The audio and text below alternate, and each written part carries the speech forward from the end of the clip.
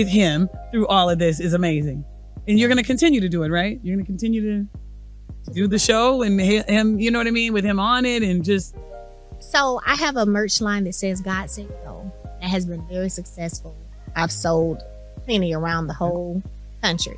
Um, and I don't move until God tells me. Good. So until I that drops in my spirit, I will be there. How much with him in the air, I don't know about that because I am protective of my peace. I'll be right. honest with you. Um, what do y'all think about that? When I heard her say that, I, I like her reasoning as well. But like I said, I just feel like I don't know if I will be able to do it. Okay, y'all. So I absolutely love Melody's take on not feeling moved to leave the show at this moment. You know, who knows what she'll do in the future. Because, you know, in a way, I do feel like she has outgrown the show and she can definitely hold her own and hold it down doing her own thing. I would like to see a show with just her, me personally, and her kids and her mom and her business endeavors.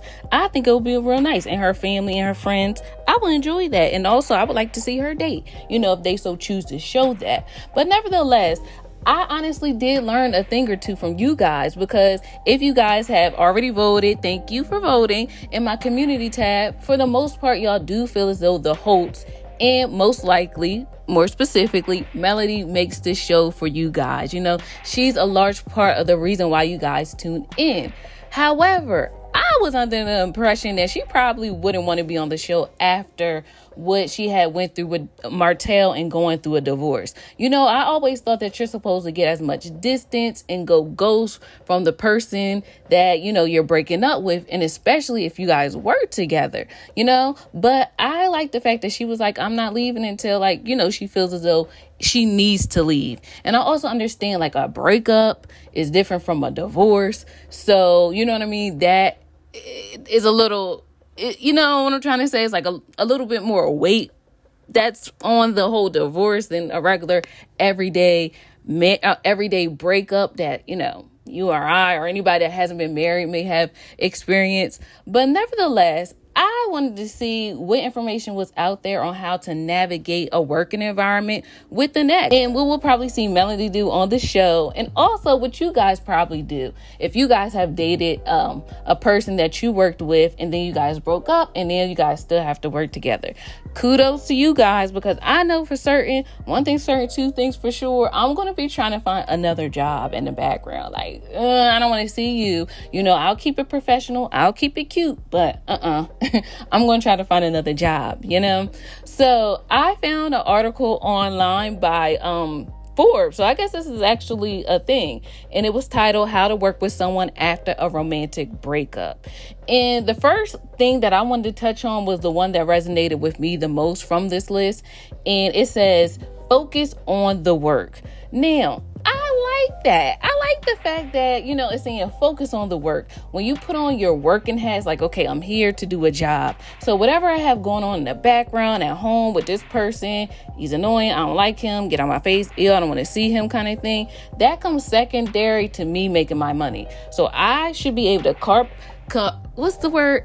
compartmentalize that's what the article mentioned compartmentalize my feelings and just I'm here, I'm showing up, I'm clocking in, I'm here to do my job. My clients love me, the people love me. So let me do what I need to do in this working environment. Forget my ex. I'll deal with that when I get home, you know, my break or whatever. But nevertheless, I'm going to be present in my job and I'm going to work at my job at the time allotted to do my job. And I realized that resonates with me because I'm already a person that likes to comp compartmentalize my life to begin with. So I'll be like, from this time to this time, I'm doing this. From this time to that time, I'm working on that. So literally, it, I could imagine it being the same thing as working with your ex. I feel like my work wouldn't falter, but I don't know. I just feel as though like seeing them will be a constant reminder of what we had. So I feel like it's easier to get over a person when you have distance. And not to say that, because this is also a different level because they are also on a TV show kind of thing. so I understand it's totally different, but you know, I still find it interesting to really think about because it's something that a lot of people may face or have faced. So that's the first thing. If you find yourself in a situation where you have to um, be around your ex while working or doing work, just keep your eyes on the prize and focus on the work. You know, try to maintain your professionalism at all time, regardless of how you feel. And another way I wanted to mention about how you can work with an ex, um, if you find yourself in this situation, because now I see why people say you shouldn't date the people that you work with. You know, love and work should be separate if at all possible, you know. But they say you never sell, you know, what you do where you rest at kind of thing. You don't you don't poop or you don't you don't do none of that where you where you rest at or where you make your money. Like you don't kind of try to keep those things separate. But I understand life be life and feelings be feeling. So hey, things happen. But nevertheless, let me know from you guys. Drop a comment below and tell us if you have ever had to work with an ex. You know, like y'all was dating and then y'all broke up and you still had to be there. Like, let us know how you navigated and what that was like for you. If you do, if you so do care, sharing, oh, caring is sharing. If you do so care, if you do so feel led, you know, sharing is caring if you feel like it. But another way to work with an ex is to keep it professional and behave as if you are unaffected by the situation. And this tip is actually coming from an article called pairedlife.com. And I like this tip. It's almost one of those faking until you make it situations. And I feel like this can actually help you get over this situation quicker because acting unbothered for me, I feel like will eventually lead to you really being unbothered. You know, what started out as an act is actually now how you really feel kind of thing. you know, just like how method actors, they, they, they work the part, they actually become one with the part because they do it so like they're, they're doing emotions and they're feeling the emotions that it now becomes one with their personality. So I really do do like that whole fake it until you make it, you know, act unbothered, even if you are bothered. It's okay. Act as though you're not. because, you know, to me, I feel like by you telling your mind and body how to act, what to do, and how to behave, your heart will fall in line with that as well. You know, your emotions will fall in line as well. You know, you got to sometimes the scripture say, I think myself happy. I like that scripture. So everything starts with a thought. You know, you can you can think yourself skinny. You can think yourself at the beach. And then you can think yourself in a Mercedes Benz and you thinking it, thinking it, thinking it, thinking it, think it, till where your actions become it, become it, become it, become it, become it, and then you'll be manifested, and you're in it, and you're in it, and you're in it. So it just like it all starts with the mind, starts with the mind, you know. so I think that was a really, really good tip. And the article also mentioned how you'll have the upper hand if you behave as if you are totally cool with the situation and that is really good advice. And in this situation in particular regarding Melody, I can actually see her being unbothered because for the most part, I'm sure she has already accepted that the relationship is over, but she still has to be cordial with this man for the sake of her children and them co-parenting together. However, it's no need to be bothered because you know you accept that sometimes things don't work out as you thought they were. And after you cried your tears, you're ready to dry your eyes off and move on because at the end of the day, she still has a whole lot of life to still live. You know what I mean? She still has what did what she say? She don't have friends to make, but cash to checks to make or y- y'all know what she said. She don't have friends to fake but she, y'all know that. So it's still a whole bunch of more life to live regardless of her not being with martell anymore. And you know that's something i want to say to you guys as well. No matter the situation you find yourself in you could be going through something that like a disappointment depression anxiety fear all that stuff don't let it get to you because you still have more life to live.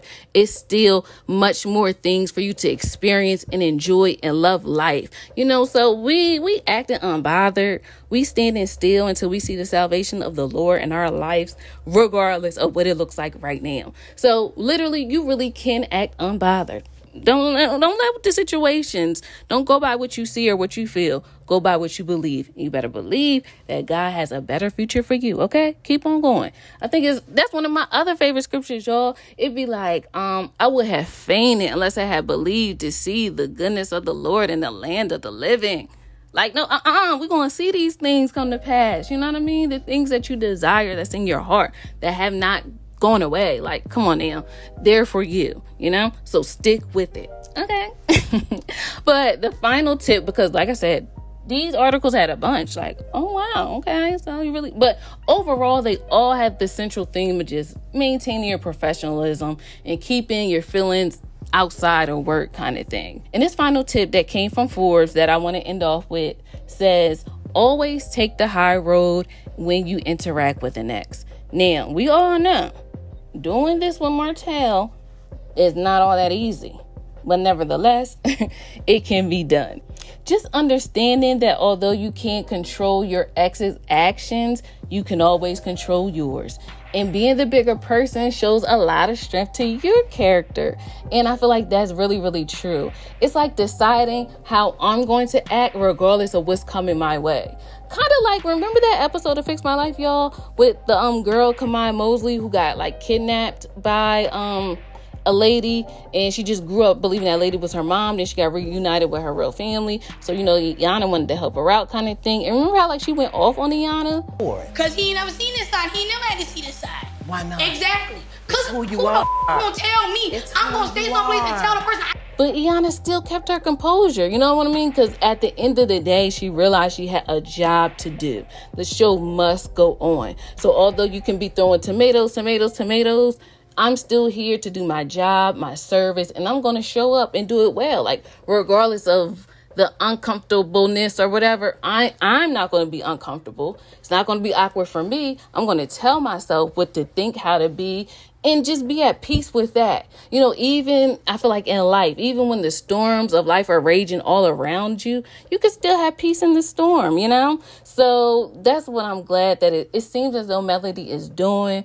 But, and just, I guess maybe I can do it too if I ever find myself in a situation. Nevertheless, let me know what you guys think, and I will be talking to you guys again soon. Do not forget to like this video, share this video, subscribe to this channel, and I will talk to you guys again soon. Bye. Synquette, man, girl was Synquette, man, girl was.